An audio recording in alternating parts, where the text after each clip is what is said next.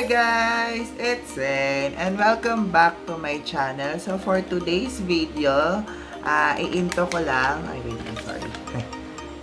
Ayusin natin yung setup. So yun, at uh, nandito ako sa bagong side ng kwarto ko. Bagong side. Matagal, hindi naman bagong side, pero ngayon lang ako mag-vlog dito sa side na to kasi nga uh, may table na ako for vlogging, yes.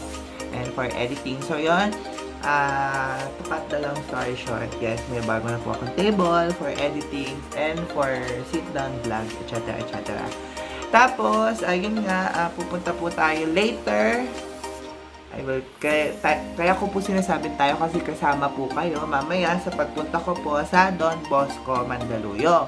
Uh, kaya po ako pupunta doon later kasi po mag-e-enroll po ako. So, I will take you guys sa enrollment ko sa Don Bosco uh, dapat yesterday kami mag-enroll but due to uh, may ginagawa ngayon sa house kasi nga uh, yun sa water ano, interruptions uh, nawawala kami ng tubig dito sa second floor and third floors bali sa ground floor lang. So kaya yesterday may parang ginagawa pa dito sa house para doon. And uh, mamaya meron din kasi ikakabit na yung water pump para umano yung tubig. So, yan.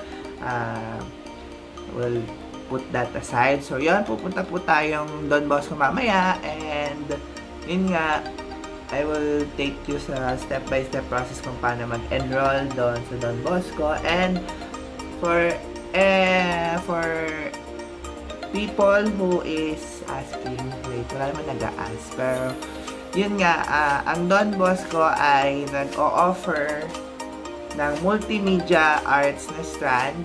Yes, nag-ano po sila ng multimedia arts na strand. Uh, ang, ta ang tawag sa strand na yon is DMT which is Digital Media Technology. Para din siyang multimedia arts. So, yon Huwag po tayo ano. Pero yon uh, I am a working student incoming grade 11. So, yes, uh, yun nga, ang mga schools na may multimedia arts is number one, cheapest, hindi naman cheapest, pero reasonable yung tuition nila for multimedia arts is CIIT. Uh, yung sa Kamuning, yes, CIIT school.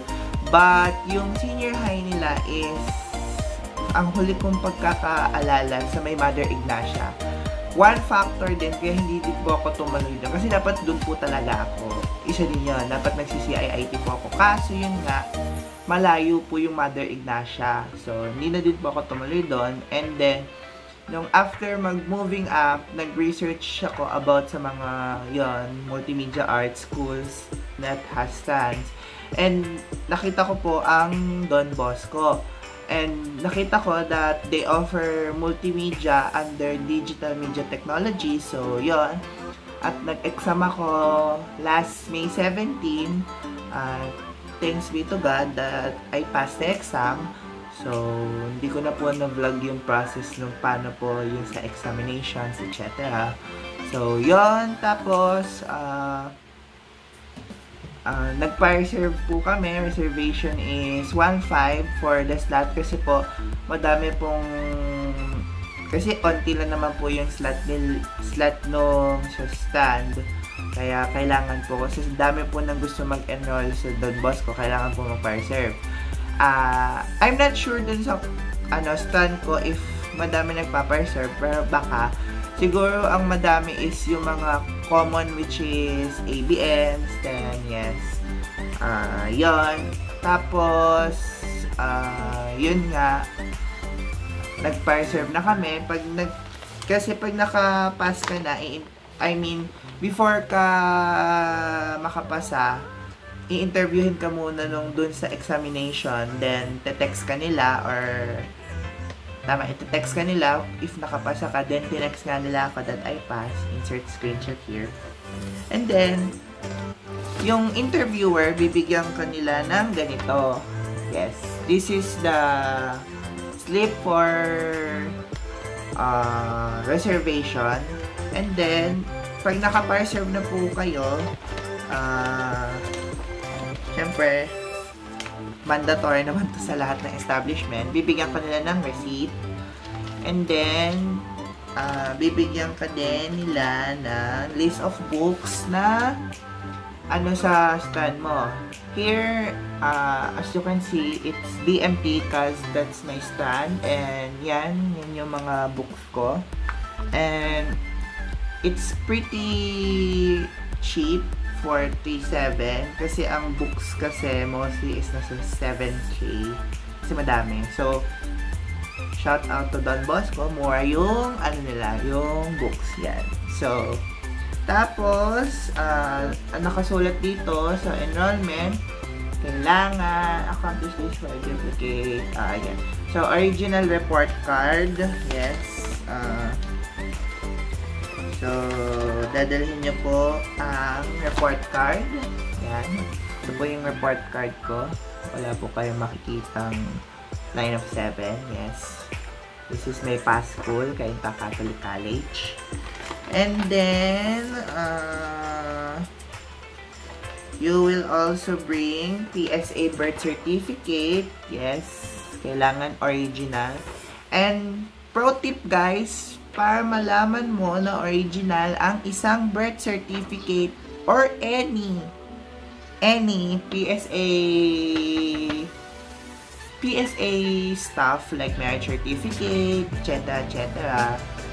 Sa paper pa lang, magkaiba sila ng coupon band and ito guys, as you can see, yung mga red yung mga red na yan, isang palatandaan niya na uh, isang palatandaan niya na authentic ang ano, ang document. Pero para sure din, pwede naman kayo umorder sa website ng PSA, pwede din kayo pumunta sa mga local government or sa munisipyo nyo para kumuha ng birth certificate.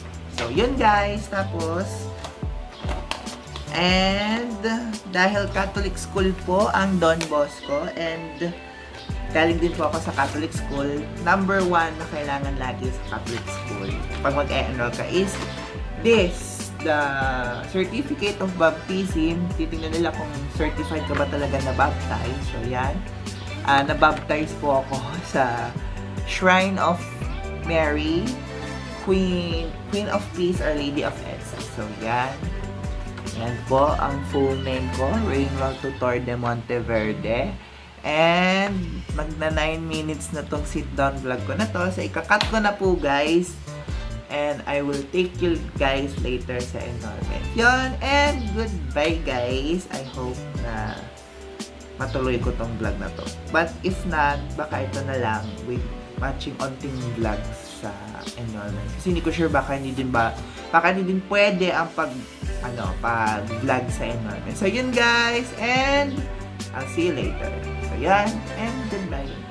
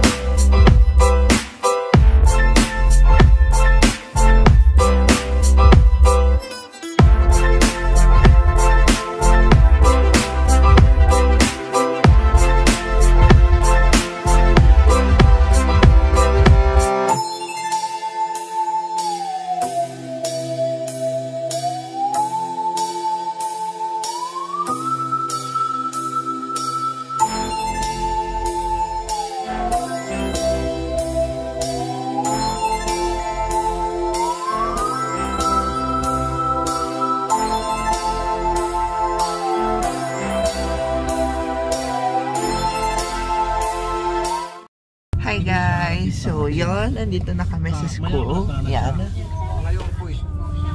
Then, boss. So, wait lang guys.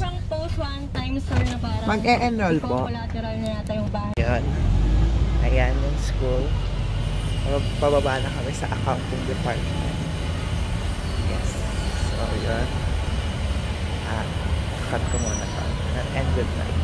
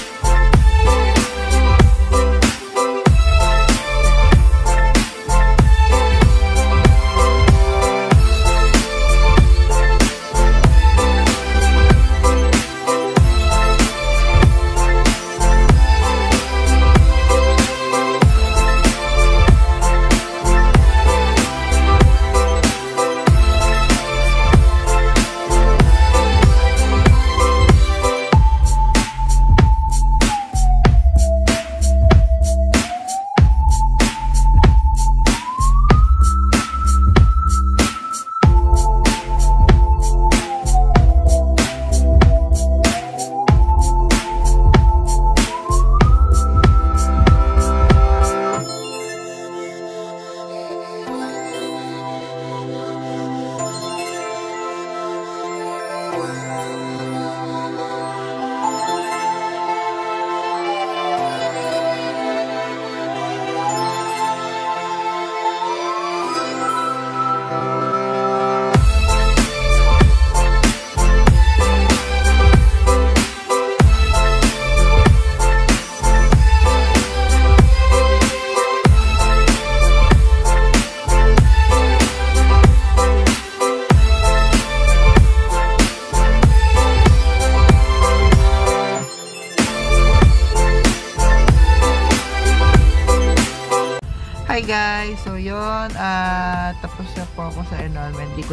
Kayo masyadong So, hindi ko na po kayo masyadong na ano yung sa process. So, I'm sorry. Pero yun, at na-enroll ko na nga. Bumili na din ako ng uniforms and books. Ayan yung books, guys. So, so yun, at ang pasukan namin is August 5. Trisem kami.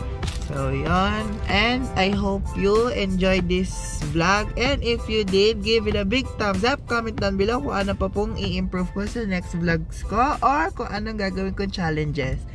And, uh, share this to your family and friends. And, ano, sabi ko na may subscribe.